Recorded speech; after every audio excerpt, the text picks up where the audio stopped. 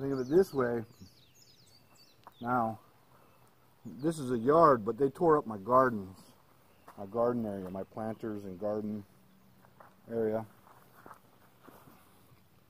And imagine if this was a farm. I mean, I I rely on my garden to grow stuff and eat, obviously. But if I were a commercial farmer or a rancher like my parents, and they start getting this kind of stuff happening, you know, you're talking about killing off your your crop that you you know rely upon to live off of, make money off of. That's your that's your source of income.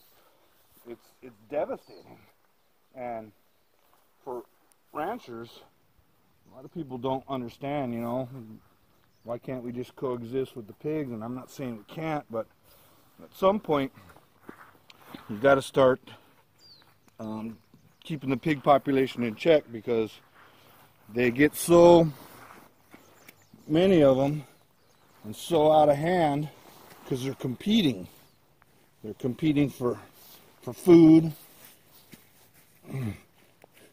and they start pushing in like this, and they start getting real brave, like I mentioned, and they can actually get so accustomed to people and so competitive for food that they can get very aggressive. They can actually get aggressive towards small animals, dogs, children. Uh, and again, if you're a rancher, they will absolutely devastate entire pastures.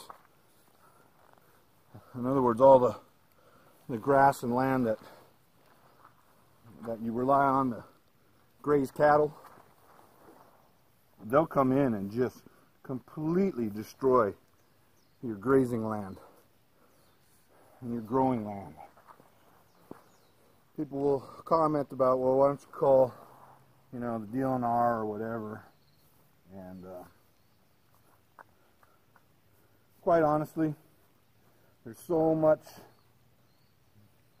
problems with so many people that there just isn't enough enforcement to possibly cover all the problems.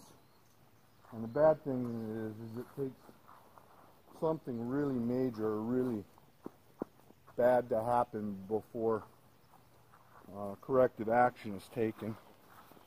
And uh, unfortunately, I I understand that part of the problem all too well firsthand. So, kind of is what it is.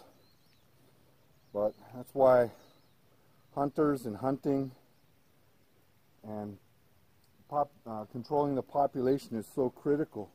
Hunters play such a huge role in the ecosystem because the wild pigs have no natural enemy or predator that keeps their population in check except for man. And if we aren't doing our job, the whole ecosystem gets thrown out of whack.